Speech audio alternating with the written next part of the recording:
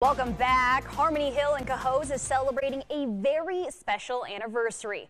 2024 marks the 10th year that the school has been with their beloved therapy dog, Rosie. Some might call it a job, but for Rosie, it's her purpose. Here's my girl. Hi. Oh, there's my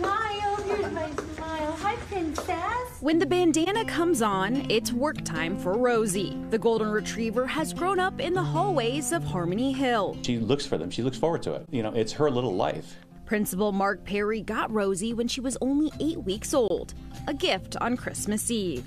By one, Rosie was enrolled to get her certification as a therapy dog. My social worker at the time, Mrs. Marcel, and I contacted Guilderland Central School District.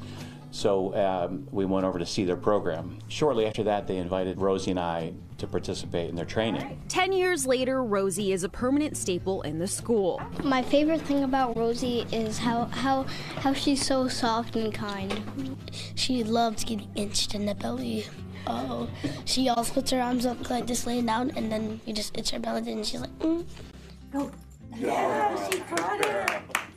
In Mrs. Laughlin's classroom, she gets right to work, seeking out the students she knows need a little extra support. Fifth grade is challenging for some of our kids, so Rosie's a big part of just de stressing all of us, even adults. 10 year old Sophie says Rosie was actually her first friend on the first day of school. So I sat with her here in lounge area and I, I was really comfort because I was also kind of nervous. I didn't know anybody here. It really helps me like calm down from having a bad day and really helps me do my work. It's, it just helps me focus.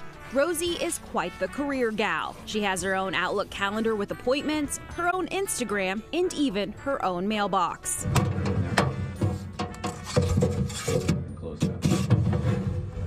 When the kids write to her, Rosie writes back to them.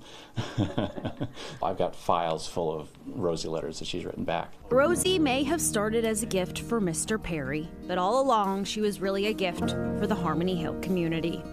We love you, Rosie. She's a little bit protective because these are her kids. You know, this is this is her school and, and, and, her kids. So she just wants to make sure that everybody's okay. That's I think that's her main goal is make sure everybody's okay.